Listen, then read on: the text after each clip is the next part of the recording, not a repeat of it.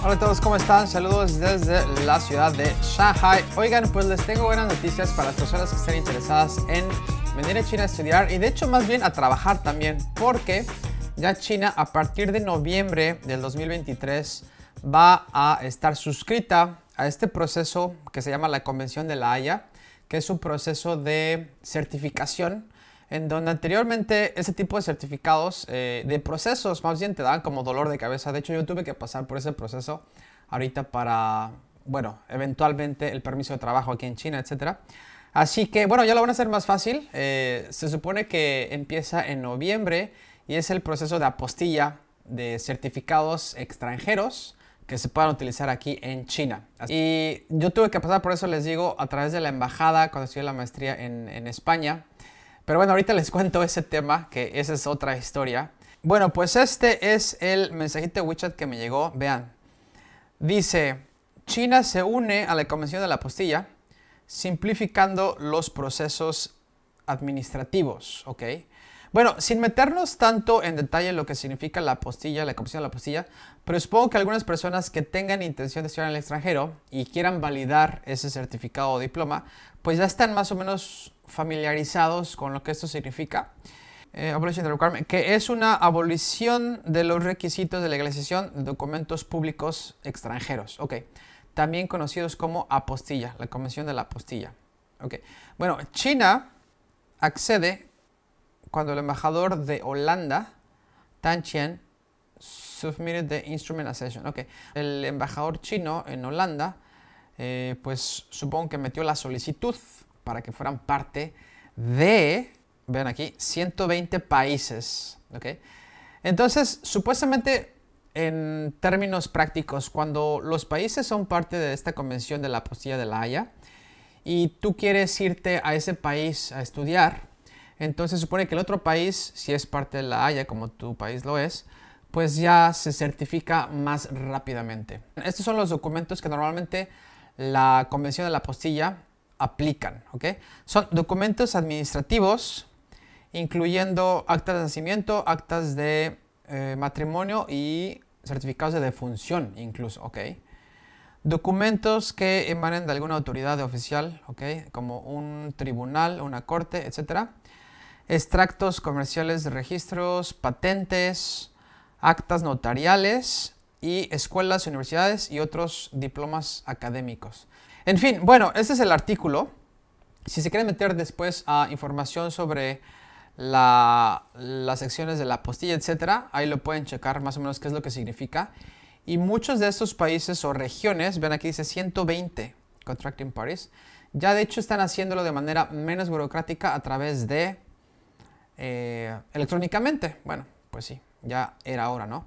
Pero vean, me metí a la lista, que de hecho la lista también aquí la tiene en la página oficial pero aquí, vean, China es la última, la acomodé por fechas. China es la, aquí está. En el 2023, o sea, el 8 de marzo es cuando metió esta solicitud y se supone que va a entrar, eh, ya va a ser totalmente oficial y abierta a partir de noviembre 7. ¿ok? Vean, también Senegal, marzo 2023. 23, ok. Eres de Pakistán o de Senegal, pues felicidades porque ya puedes eh, accesar a esta postilla. De hecho, nosotros en México, bueno, nosotros, bueno, donde sea que, que nos estemos viendo, aquí Colombia, vean, desde el 2001, este, por ahí vi México que estaba en el 95, bueno, varios países que, pues ya son parte de la postilla. Cuando estuve, bueno, estuve viviendo y trabajando en Vietnam por algún tiempo y también tuve que pasar por este proceso de certificación, pero aparte de eso, eh, tuve que ir a la embajada eh, española, española, a la embajada de España ahí en Hanoi, en Vietnam, para que me certificaran mi diploma de la maestría de España, porque yo allá, estoy viviendo por, por un tiempo también. Así que ese tipo de procesos también son los que toman mucho tiempo. Afortunadamente en ese entonces la universidad donde estaba trabajando en Vietnam hizo todo el proceso de certificación, entonces yo no me metí mucho porque la oficina de recursos humanos lo hizo por mí.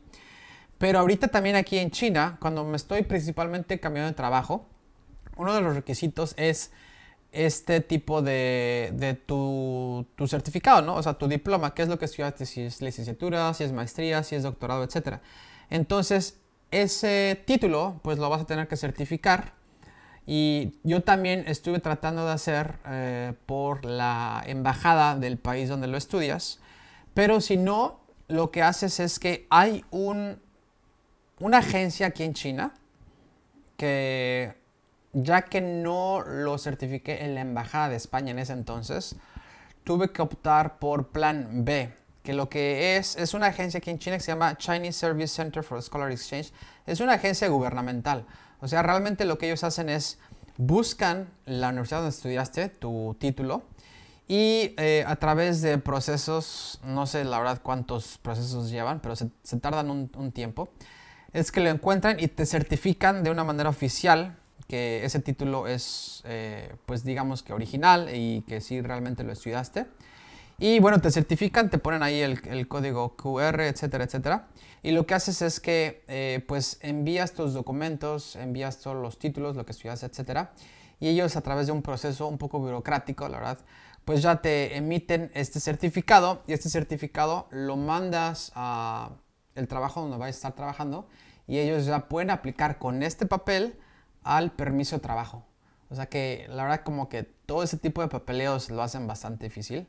Y ahorita lo bueno es que, bueno, pues ya te vas a, te, vas a poder brincar estos temas burocráticos que la verdad no sé qué tanto vayan a, aligerar los temas de proceso, tiempos, eh, costos, etc.